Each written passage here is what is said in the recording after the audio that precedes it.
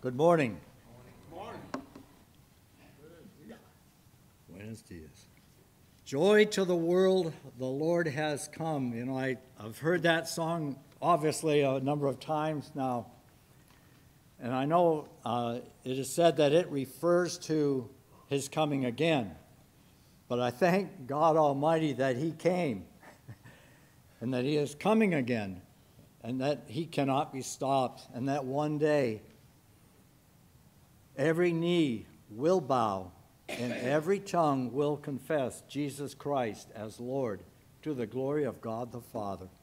And I just thank him for that, that, uh, oh, oh, may he come soon.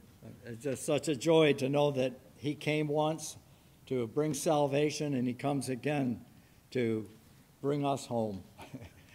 thank you, Lord. Shall we pray? Heavenly Father, we thank you that this amazing, gracious, loving plan of yours was set before the earth was here, before we took our first breath. You knew that this day would come, and Father, you knew that we would be anxiously looking forward to this world being turned right side up again. Father, we thank you for your word, and it is bringing forth the things that you would have it to bring. Lord, we thank you that your word is life to us, it's health to us. And Lord, as we listen today to your word as it is brought, we thank you that it is not just going out here, but Father, everywhere where your word is we do pray for open hearts and open ears.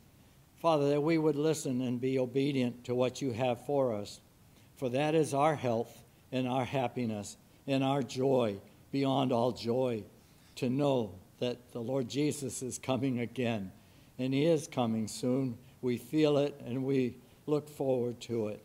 But in the meantime, Father, we lift our brothers and sisters in Christ to you.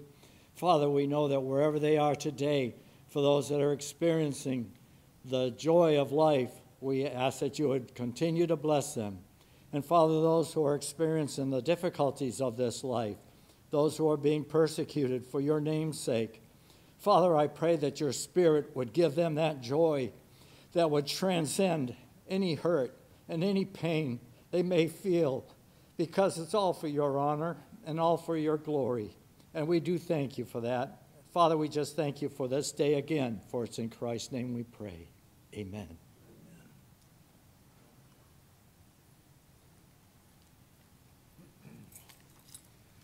Uh, good morning, everyone here on this chilly Sunday, and those of you online. I'm the uh, backup B team announcer for this morning because Pete is out of town. Um, real quick, the men's Tuesday Bible study resumes on 19 January. That would be the third, uh, so, uh, third Tuesday of the month. Uh, that Tuesday men's Bible study meets uh, every first and third Tuesday of the month. So we resume on the third Tuesday of January. That's the 19th.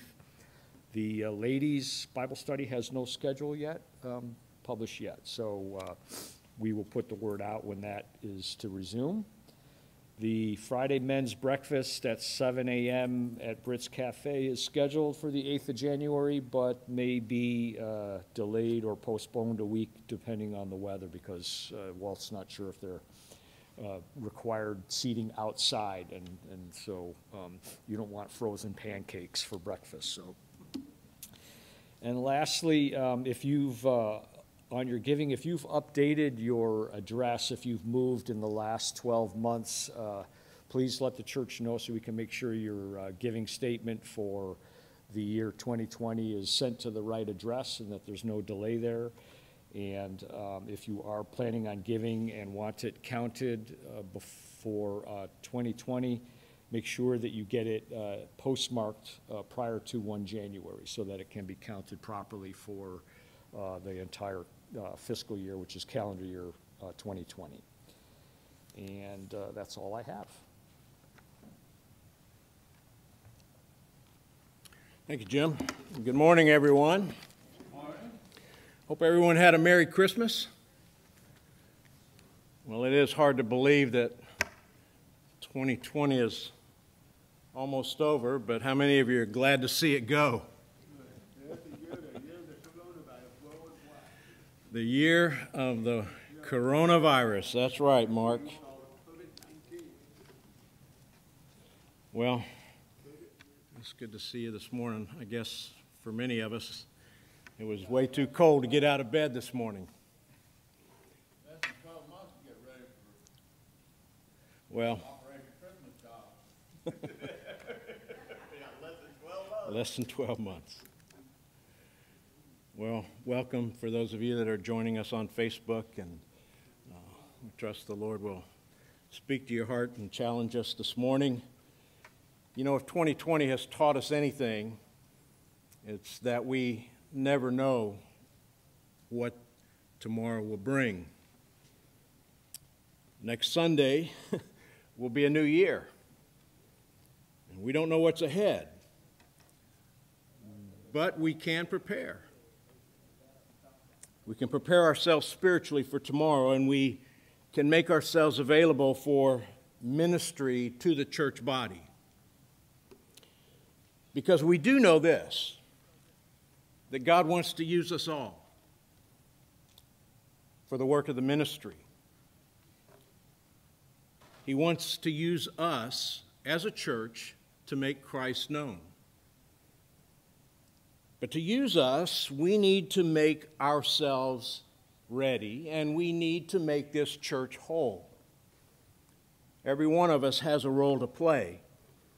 And so I pray that you will seek the Lord's will concerning a place of ministry within this body. Now, I realize that not everybody is ready to return yet. This pandemic still has a lot of people uh, not ready to come back, and we don't know if it's going to get worse yet. We trust that with the vaccine coming out, it'll subside and things will smooth out and get better, and everybody will come back and prepare to be involved in the ministry. But I pray that you will seek the Lord's will concerning a place of ministry within this body because we have all been saved to serve. That is one thing that we know the Word of God teaches. And uh, as we will see in our text today and in the weeks to follow as we go through the book of Acts, that's one of the things that the Word of God teaches. Today we're going to get back to Acts, and we're going to see a, a man who left Jerusalem with a malicious intent to persecute Christians, the followers of the way. And he wanted to execute and imprison those who were following the Lord Jesus Christ. And yet, on his way to persecute Christians, he would have a confrontation with the one who he was persecuting. He didn't think that he was persecuting the Lord Jesus. In his mind, he was persecuting the followers. But he would soon discover that when he was persecuting the followers of Jesus, he was in fact persecuting the person of Jesus Christ. Now, I hope you realize that when we talk about a conversion to Jesus Christ, every conversion is a huge miracle. Because the conversion of someone to faith in Christ is someone coming from death to life. They're being converted from darkness to light.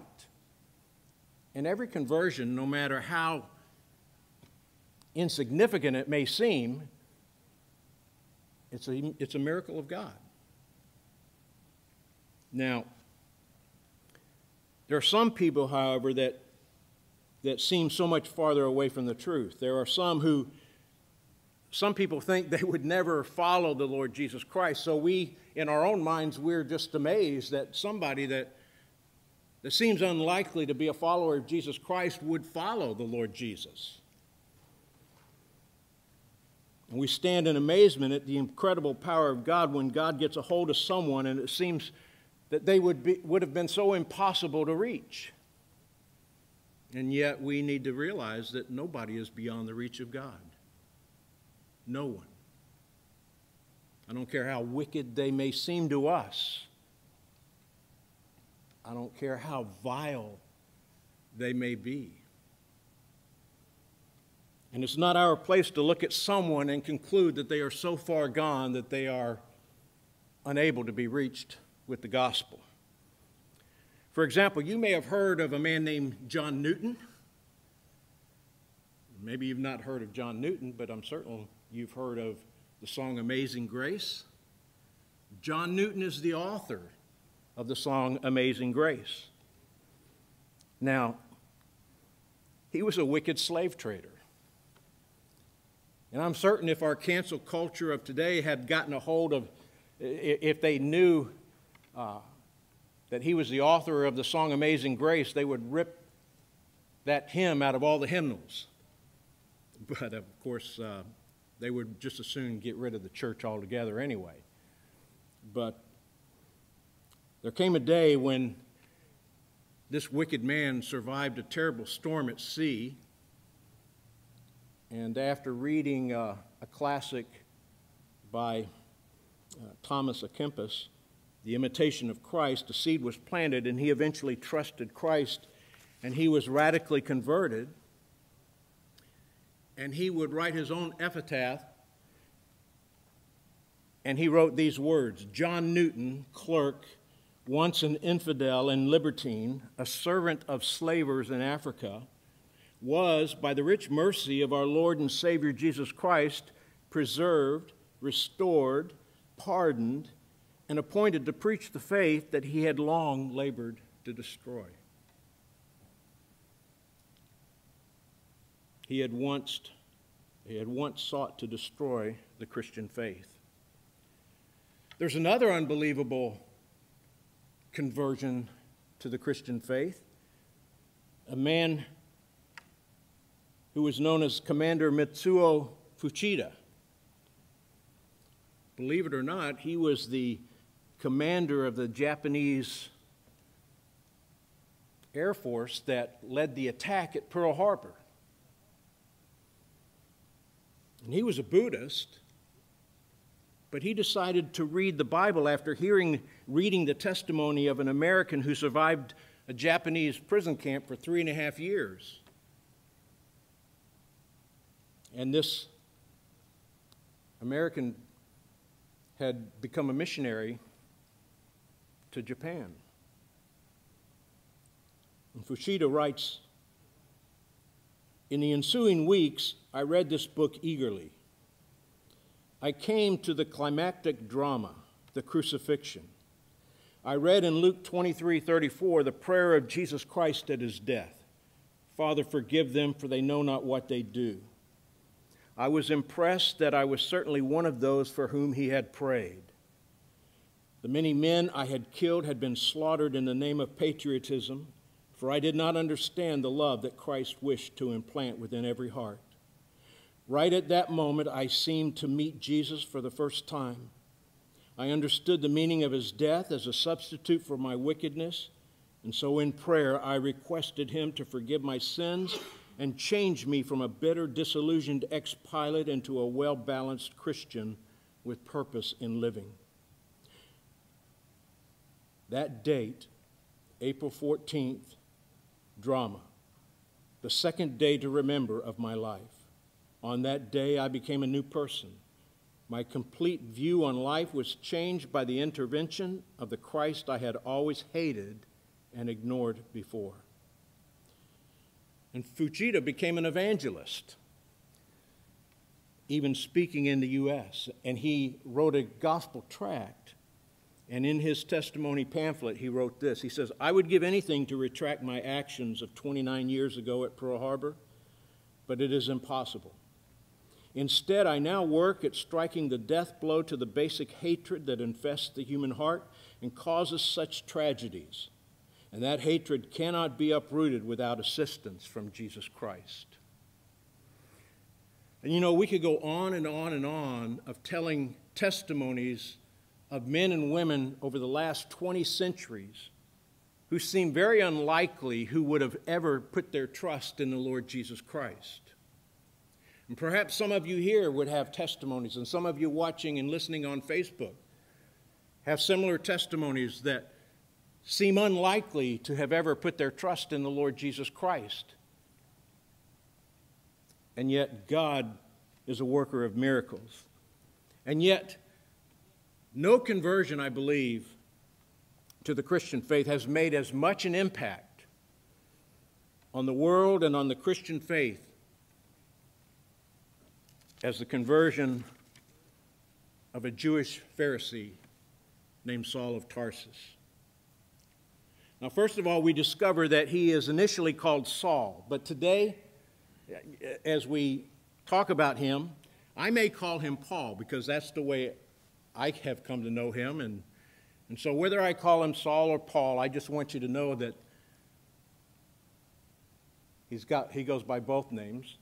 Saul is his pre conversion name, Paul is his post conversion name, but whatever I call him, you know who I'm talking about, right? So, but he has been the most influential of all the apostles writing 13 letters in the New Testament from which the bulk of our New Testament doctrine has been developed, especially soteriology, which is the doctrine of salvation, and ecclesiology, which is the doctrine of the church. I remember uh, one of my theology professors in Bible college, Dr. Bragg, wrote one of our textbooks called Pauline Theology. And uh, Paul was responsible for much of our theology in the New Testament. But it was the Apostle Paul who actually clarified the gospel for us in his writings. Now, if you would ask the average Bible believing pastor, other than the Lord Jesus, who is their hero in the New Testament, and I have to qualify that as Bible believing pastors because I hope you know that there are a lot of pastors today that don't really believe the Bible. But I would say that probably the vast majority of them would say the Apostle Paul. If there was anybody in the New Testament that I would want to be like, I would have to say it's Paul. He set an example for all of us. And we'll see Saul's salvation experience in Acts chapter 9, and then in chapters 10 through 12, we're going to see a little bit more of Peter and his ministry. But then we see Peter kind of fade out. We'll see him again in chapter 15. But from chapter 13 on to the end of the book of Acts in chapter 28, we see Paul's ministry rising to prominence, and we see his ministry and the effectiveness. And I believe that there's several things that will help us in our own walk of faith. And he's going to show us how we can more effectively reach the lost for Christ. And he's going to show us how we can persevere when we're being persecuted and our faith is being tested. And I believe he can show us how to be bold when we need to stand up for our faith in a culture that is doing everything it can to stop us and to shut us up. You know, there, there really is a movement underfoot in this country trying to silence us regarding certain issues of great importance. And Paul shows us how we can take a stand when those forces are trying to stop us and trying to keep us quiet. I just finished a great book by Erwin Lutzer, and I gave a copy of that book to all of my leaders called We Will Not Be Silenced Responding Courageously to Our Culture's Assault on Christian- Christianity. And I really would encourage every Christian to read this book because it's very instructive as to what's happening in our culture, but it gives a, a, very balanced and instructive view of what's happening in our culture and in our country today. It gives some sound biblical advice to believers on how to remain faithful. And uh, I'll make mention of that in a few minutes again, but Anyway, Paul's story is amazing. And it's so amazing that we see his testimony mentioned three times in the book of Acts. The other two are found in Acts chapter 22 and verse 1 through 16, and again in Acts 26, verses 4 through 18, as Paul has opportunities to give his testimony. One author gives his assessment of Paul when he says this. He says, It is fitting that such a unique individual would have a unique conversion. Saul was by birth a Jew, by citizenship a Roman, by education a Greek, and purely by the grace of God a Christian. He was a missionary, a theologian, evangelist, pastor, organizer, leader, thinker, fighter for truth, and lover of souls. Never has a more godly man lived except for the Lord Himself. And so it's really no wonder why I want to be like him, and I hope that by the time we get finished with the book of Acts, he becomes a hero to you and you would like to be like him. Now, when I read about him as a believer in Acts, he truly becomes a role model for every believer. He was born in Tarsus in the Roman province of Cilicia, and he was a, a Pharisee who studied under Gamaliel, who was the most respected rabbi of his day. And his dedication as a Pharisee to Jehovah God was unsurpassed by any Jew in Israel. Now, I want to want you to follow along with me in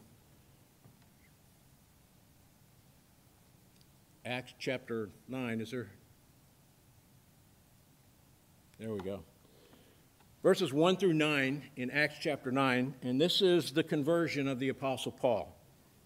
It says, Then Saul, still breathing threats and murder against the disciples of the Lord, went to the high priest and asked letters from him to the synagogues of Damascus, so that if he found any who were of the way, whether men or women, he might bring them bound to Jerusalem. As he journeyed near Damascus, and suddenly a light shone around him from heaven, and then he fell to the ground and heard a voice saying to him, Saul, Saul, why are you persecuting me? And he said, Who are you, Lord? And then the Lord said, I am Jesus, whom you are persecuting. It is hard for you to kick against the goads. And so he, trembling and astonished, said, Lord, what do you want me to do? And then the Lord said to him, Arise and go into the city, and you will be told what you must do. And the men who journeyed with him stood speechless, hearing a voice, but seeing no one. Then Saul arose from the ground, and when his eyes were opened, he saw no one. But they led him by the hand and brought him into Damascus. And he was three days without sight, and neither ate nor drank.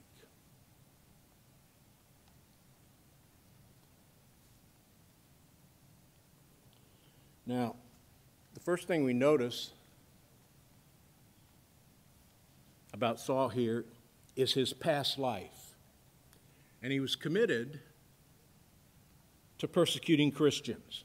We see that in verse 1 and 2. He was still breathing threats and murder against the disciples of the Lord. We've already seen him briefly in verse uh, in chapter 7 at Stephen's execution. You remember they stoned Stephen, and it says that they laid their cloaks at the feet of a young man named Saul. That's this man here. He was leading the way of persecution against the Christians. Later in Acts chapter 26, when he was giving his testimony to King Agrippa, he says this Indeed, I myself thought I must do many things contrary to the name of Jesus of Nazareth. This I also did in Jerusalem, and many of the saints I shut up in prison, having received authority from the chief priests. And when they were put to death, I cast my vote against them. And I punished them often in every synagogue, and compelled them to blaspheme. And being exceedingly enraged against them, I persecuted them even to foreign cities. And so the idea that Saul was breathing threats and murder indicates that he was a, a man who was consumed with hatred and anger, committed to stamping out these Christians. It was like the, the very air that he breathed. But the ironic thing about his vicious hatred for Christians was that he actually thought he was doing the work of God, which is often the case when Christians are persecuted. That's one of the things that, that's going on around the world today. Christians that are being persecuted in Muslim countries, in Hindu, in uh, Hindu countries, they're being persecuted by people who think that they are doing God's work. Saul got the proper authorization from the Christian from the Jewish authorities to carry out the deliberate extermination of Christianity.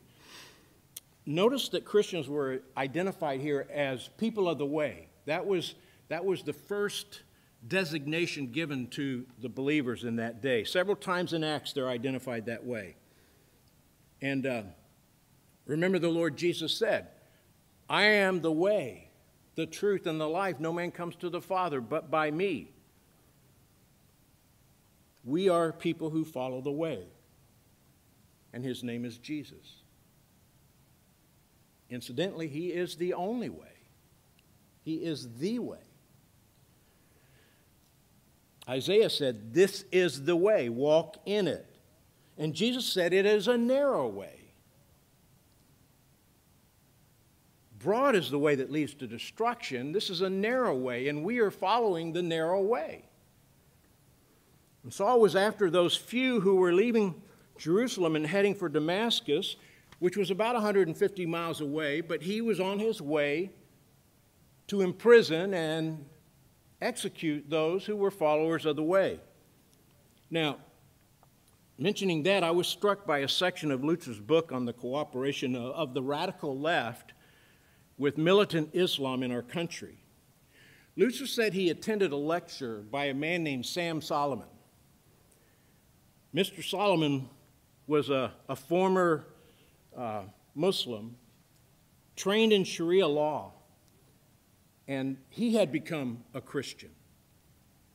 And he was doing lectures all across the country, warning churches and warning pastors and Christians about the dangers of the Muslim movement that was taking off in our country. Lutzer said in his presentation, he said it was well researched and compelling and frightening. He said later he had an opportunity to speak with Mr. Solomon and he asked him, quote, in the light of what you have shared and considering the gains that radical Islam is making in America, what is my responsibility as a pastor of a church? Lutzer said he pressed his index finger against his chest and said, Your responsibility is to teach your people to be ready to die as martyrs for the faith. Lutzer said, I've never thought of that as part of my job description, but his words have never left me. And loved ones, I have to say that in the light of such rapid changes that are taking place in our country today, that strikes at my own heart. In, in the last five to ten years, we have seen changes that we never thought would have been possible.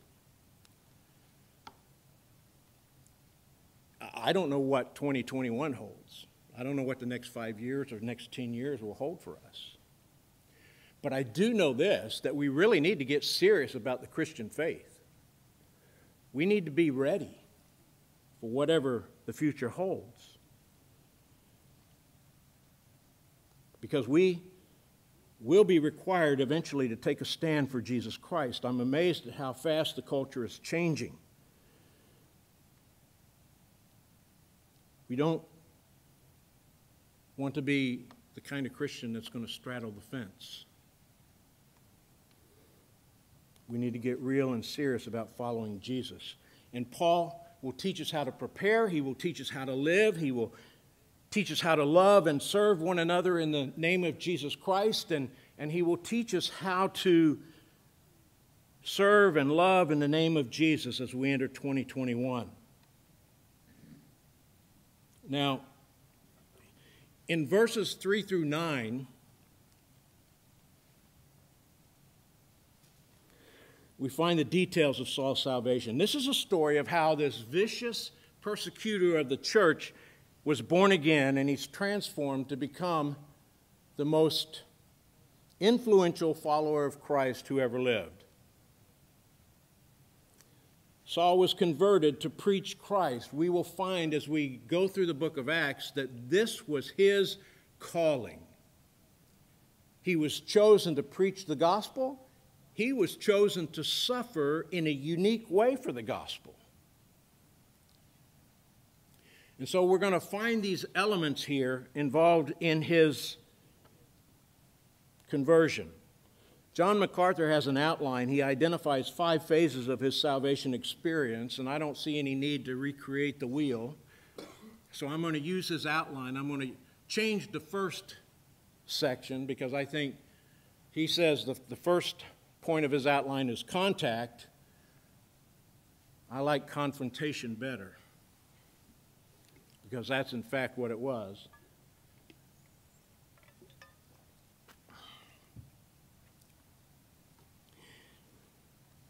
Because he was moving full steam ahead in his attack on Christians, and he was suddenly stopped dead in his tracks on the way to Damascus when he was confronted by the Lord Jesus himself. He's surrounded by this brilliant light that transcended even the brightness of, his, of the sun. In his testimony in Acts chapter 22 and verse 6, he says it was around noon, but this light was so intense that it actually outshined the sun. Now, where are we going to find a light that can outshine the sun? Only the glory of God has a light that can outshine the sun.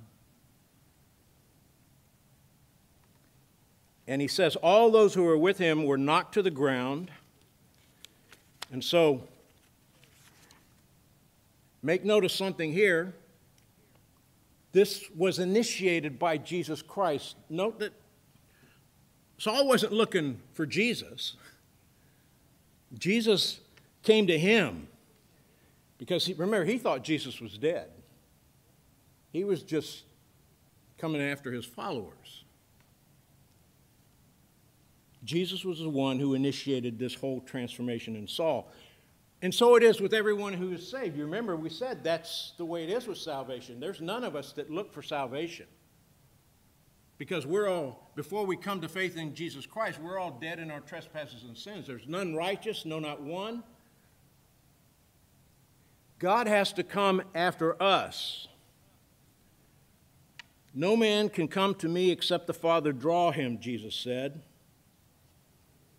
So our first encounter with Christ may not have been so dramatic as Saul's, but he still confronts us with his holiness and glory so that we're compelled to respond to him one way or another either by rejecting or receiving him. In any confrontation, we have to see Jesus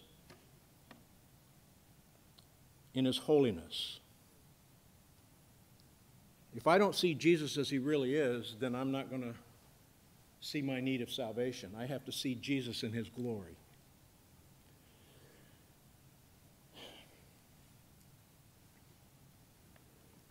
So that brings us Verse 4 is conviction. He sees this brilliant light. He is knocked to the ground, and now he hears this voice Saul, Saul, why are you persecuting me? He sees the glory of the Lord Jesus Christ, and now by one simple question, he is forced to face his own sinfulness. You see, God confronts us with his glorious holiness.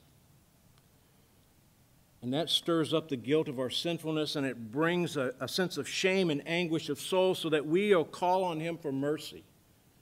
I won't call out for mercy until I see myself as I really am. When we find ourselves in the glorious light of His holiness, He cannot, we cannot avoid seeing ourselves as we really are. I'm, I, i am reminded of Isaiah when he has this vision and he sees the glory of the Lord in Isaiah chapter 6. And he cries out, Woe is me! I'm a man of unclean lips, and I live in the midst of, a, of an unclean people. And he sees himself as he really is. And our conversion must be preceded by the conviction of sin, because that's why Jesus died to save us from our sin. I've heard people present the gospel, and they, they will tell you to try Jesus because he offers a better way of life.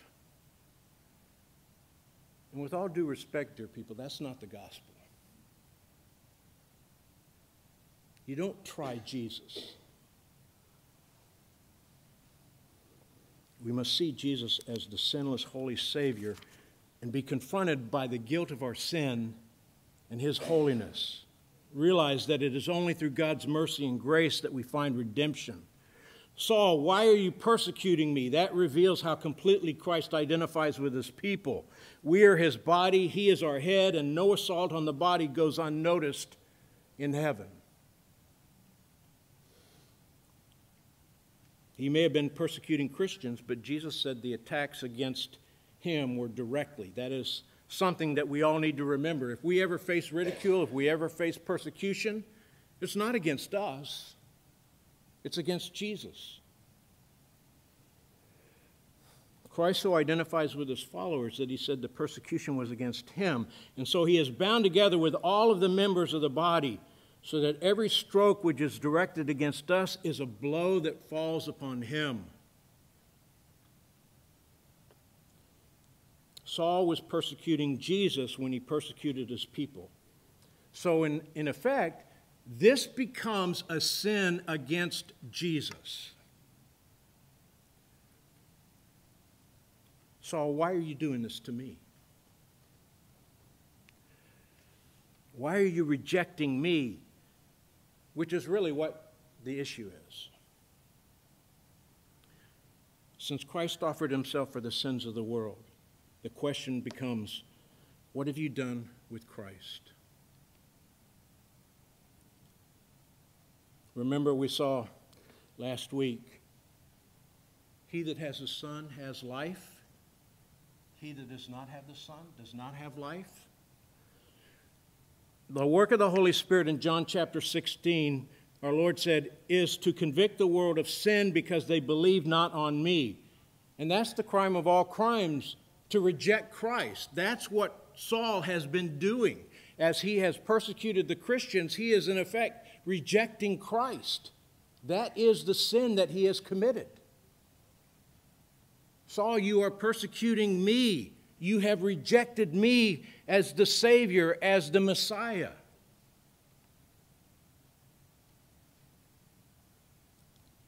Saul, you are persecuting the Son of God, and, God, and Saul was guilty of rejecting Christ. And this confrontation brought conviction to his heart, which led to his conversion. Because his immediate response was, Who are you, Lord? You know, he, he acknowledges, Who are you, Lord? He knew without any doubt that he was in the presence of a divine being. One author says it's not hard to believe that he already knew the answer to the question as he asked it. If not by faith, then by fear, his worst imaginable nightmare would have been to discover that Jesus was the Messiah. Christianity was true, the gospel was God's truth, and he had been fighting God. When Saul heard the words, I am Jesus whom you are persecuting, the light of truth was confirmed in his soul and the gospel became positive. Immediately, Saul's resistance was crushed.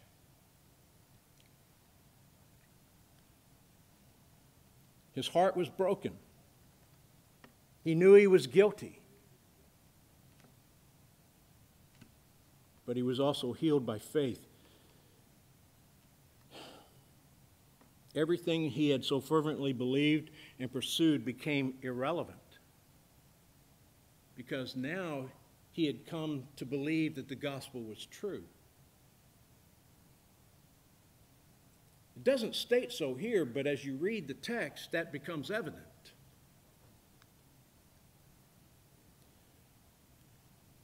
He would later write in Philippians, he says, But what things were gained to me, these I have counted lost for Christ. He had all the accolades, all the achievements of an accomplished Pharisee. And it was all irrelevant right now. He says, Yet indeed I also count all things lost for the excellence of the knowledge of Christ Jesus my Lord, for whom I have suffered the loss of all things, and count them as rubbish that I may gain Christ. He had come to realize that. But up until this moment, he was, a, he was proud of everything that he had accomplished. He was full of zeal of the things that he had believed, but with what he, what he was seeing with this new sect from the people of the way, it was pretty evident that he couldn't refute that anymore. That's why these next words from the Lord were so stinging. They struck a nerve. Jesus said to him, It is hard for you to kick against the goads.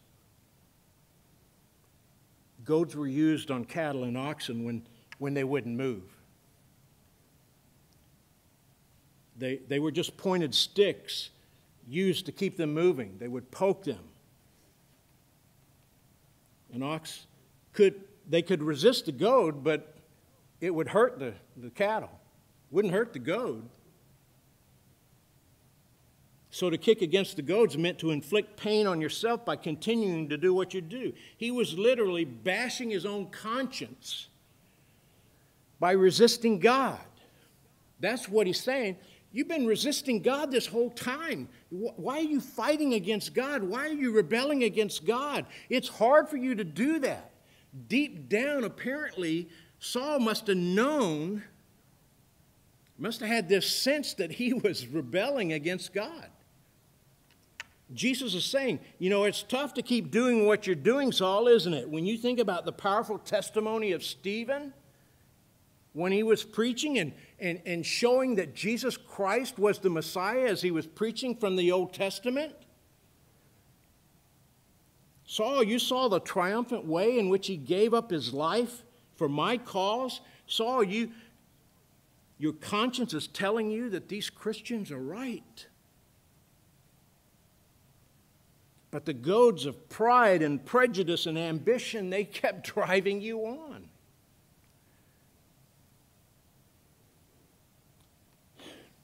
deep inside, Saul must have sensed that the gospel was true. And Jesus called him on it. It's hard for you to kick against the goads. And you know, there are people that are hearing the gospel and they're kicking against the goads because deep down inside they know it's the truth. But they keep fighting it. They enjoy their sin their pride won't let them give in to it for whatever reason. Some of you can remember resisting the gospel, maybe the goads of fear or anger or pride, for whatever reason.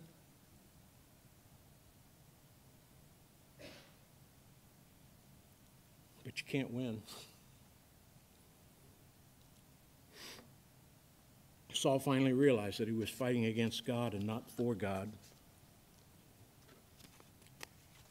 And he finally realized. So,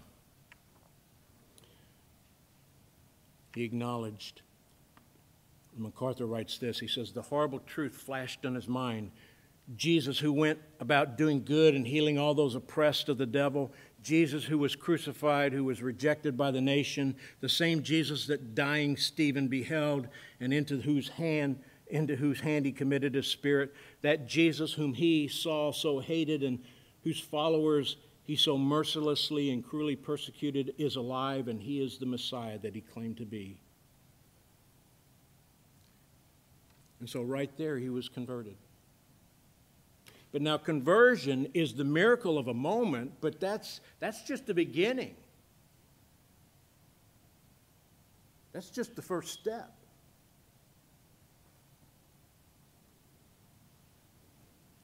After conversion comes consecration. Verses 6 through 8. It simply means surrender. But surrender demonstrates the genuineness of salvation. Because Saul said, Lord, what would you have me to do? Incidentally, that's really the only thing we should say to the Lord. You know, there's two words that don't go together, and that's no Lord. If He's Lord, you should say yes. When salvation is real, there comes this understanding that Jesus is Lord. You may not understand all that that entails, but there is this sense that He is Master that He is divine and you have this obligation to surrender to Him. The old Saul is dead, and the new Saul would become known as Paul. And he has now risen with Christ, and Jesus told him to go into the city and he would be told what to do next. There was no more questioning about what he needed to do, there was just a willingness to obey.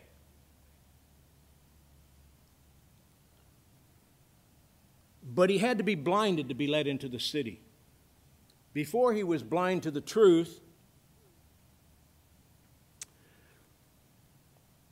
even though he could see physically. Now he sees the truth spiritually, but he's blinded physically. His spiritual eyes were open, but his physical eyes were blinded. And it's interesting that the other men were with him they saw the light, but they didn't see the Lord. They heard the voice, but they didn't understand what was being said. And that's the way it is a lot of times. You can be in a group setting, and Jesus Christ can be speaking to one person, and everybody else can hear the same message, but they don't respond. But you know what? This was a message. This was Jesus was speaking to Saul right there. That was his moment. That was his calling. Now, it may be that some of these other men got saved later on, but right then and there, this was for Saul. It was a unique call for him. But you know what? The truth of the matter is that every one of us have has a unique call. You know, when we think about our salvation experience, God has a plan for every one of us. And I hope you understand that. God saved you because He has something specific for you to do. I remember the day when I fully surrendered to the Lord Jesus. I surrendered to do whatever it was that God wanted me to do. Now, I didn't know what that was until about a year and a half later. when he called me to pastoral ministry. Now, I didn't have a, a, Damascus Road experience. I didn't see a bright light, and I didn't hear audible voice. But I did. Uh,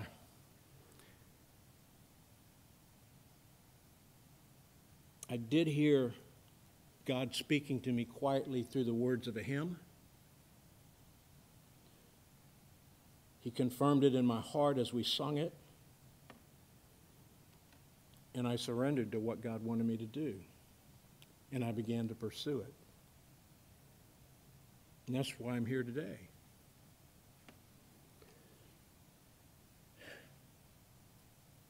But for us to find out what it is that God wants to do, it requires us to surrender.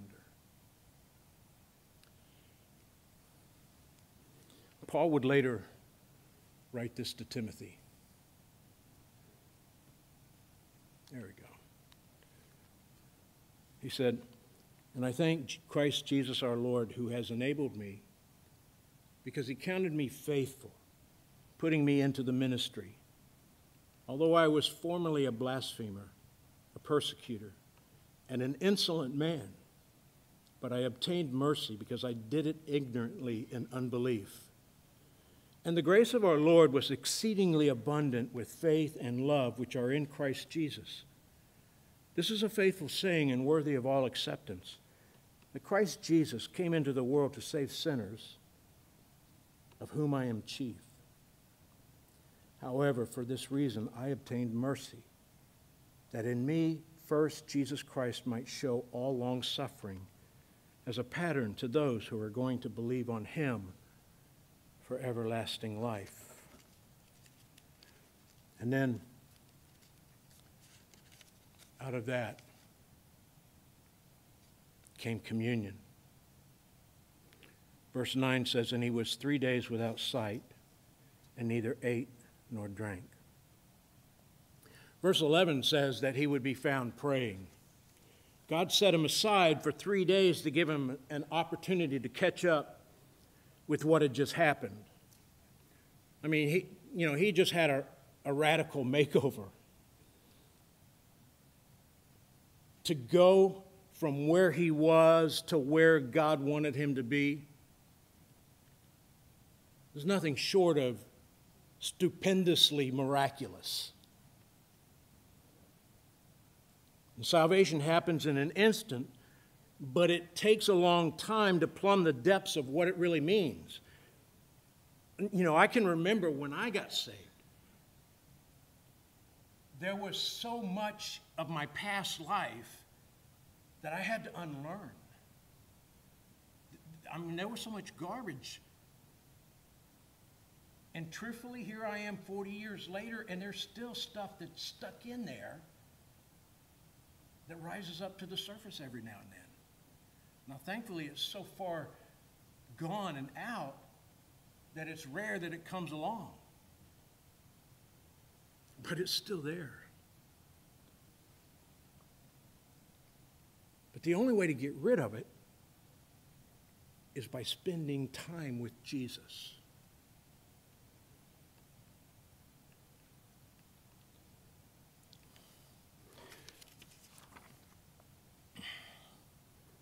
Here's another footnote. And I read this and I, I thought, man, this is rich. It just blessed my heart. Have you ever uh, tried looking at the sun and then when you look away, all you can see is the sun?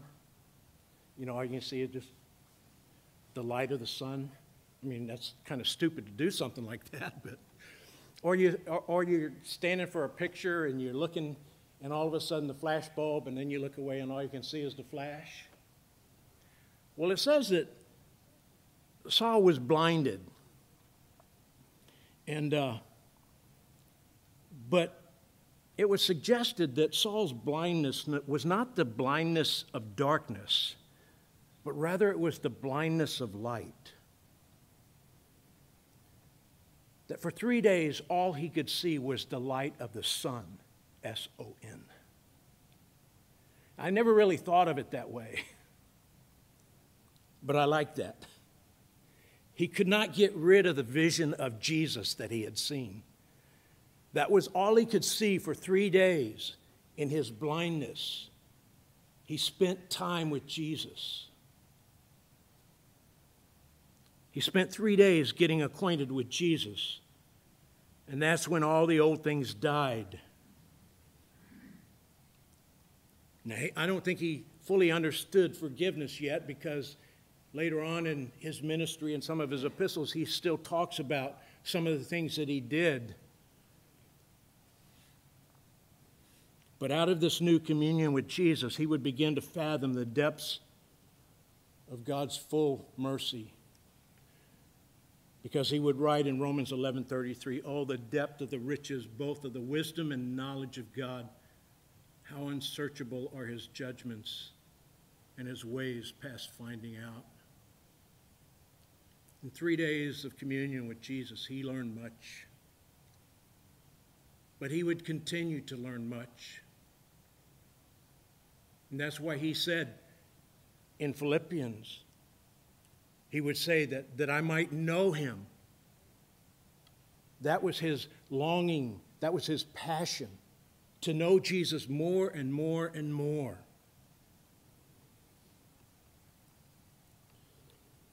And you can only begin to understand by spending time with Jesus in sweet communion. So, can I challenge you this morning? Here we are about ready to say goodbye to 2020. Hallelujah. but we're getting ready to enter 2021. So, would you enter this new year in sweet communion with Jesus? Would you make it a priority at the end of 2020 to draw as close to Him as you possibly can? We've got, we've got no idea what's in store for us in 2021. 2020 was hard on everyone. Harder for some than others, but loved ones as followers of the way. The only way that we can be ready for whatever is coming is to draw close to Jesus. James 4 8 says, Draw near to God, and he will draw near to you. And the nearer you are to him, the more prepared you will be for whatever comes our way. And as we go through the book of Acts, we will witness Paul become the great apostle to the Gentiles. But in my humble opinion, he's the greatest example of what it means to be a follower of Christ. And my, my prayer is that we will learn much from this champion for Christ. Confrontation, conviction, conversion, consecration, and communion. And I pray that all of us are in that communion stage. And salvation is the miracle of a moment that leads to a lifelong experience of service and fellowship with Jesus Christ. And it's all because of his amazing grace. Amen. Let's pray together. Our Father, thank you for leaving this written record of this great apostle, this man who was such a, a, vicious tormentor in the church, of the church. And yet you so amazingly saved him by your grace. If there's anybody who ever lived that didn't deserve to be saved, it was, it was him. But in reality, Lord, none of us do. And so, Father, we just thank you for his example. I pray that as we continue through the book of Acts, we would learn much by way of example, by way of principle and truth to apply to our lives so that we can strengthen our faith, that we will learn how to be strong in the Lord, to persevere under trial, and Lord, to be bold in making Christ known. Use us for your glory. And so, Father, we pray that you would work mightily within each one of us for the honor and glory of your Son. It's in his name we pray. Amen. Amen. Those of you that are joining us on Facebook, I uh, pray that you too would uh, make it a priority to draw near to the Lord for 2021. And uh, God bless you. Lord willing, we'll see you next year.